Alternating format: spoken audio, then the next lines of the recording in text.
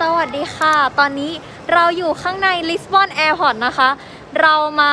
รอรับหมู เดี๋ยวหมูจะต้องเดินออกมาจากช่องนี้ เดี๋ยวเราจะแบบ เอ๊ะจะเอ๊ะตกใจให้เซอร์ไพรส์กันมาดูกันว่านางจะตกใจไหมเราเปลี่ยนแผนเรายืนรอนาน เราขี้เกียจเราก็เลย อะ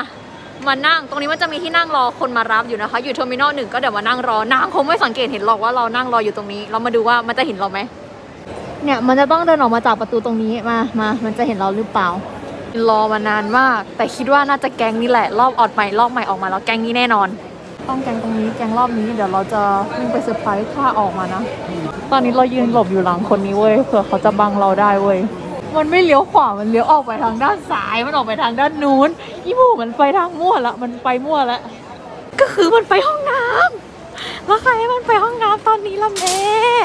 ไปเรื่อยแหมแล้ว ไปเรื่อยแหมแล้ว เนี่ย มันอยู่ห้องน้ำตรงนู้น เราคาดว่ามันน่าจะเดินมาทางนี้ อ้าว แม่มันหายไปอะ เอามันหายไปไหนอะ นี่เราเห็นกระเป๋ามัน เราเห็นกระเป๋ามัน เราเห็นกระเป๋ามันแล้ว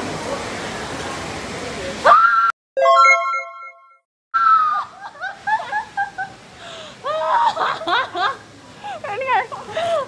consistency เอาแกนซื้อแหนบไหมเหี้ยหัวล้านพอดีตรงกลางอ้าเอาไป I don't care เอาขาออกก็พออันเนี้ยตอนเนี้ยคนดึงอะใช่ไหมอืมมันจะรู้สึกหงุดหงิดแบบดึงอะไรก็ไม่ออกหมูไม่ออกไม่น่าได้แล้วล่ะมันเอามีดตัดเล็บสั้นไปดึงได้ไหมถ้าเอามีมีดตัดเล็บเราเอาตัดดึงได้ไหมได้ ไม่ได้มันจะขาดอย่าโกนหัวกูนะกูนะพกไว้ทุกที่ก็หยิบแล้วก็ปาดข้างล่างเอาไง ให้มันแบบนี้พอวันนี้มันอยู่ตรงกลางของมันตั้งเกินน่าเกลียด เออพอแล้วเสร็จแล้ว thank you โชว์มองไม่เห็น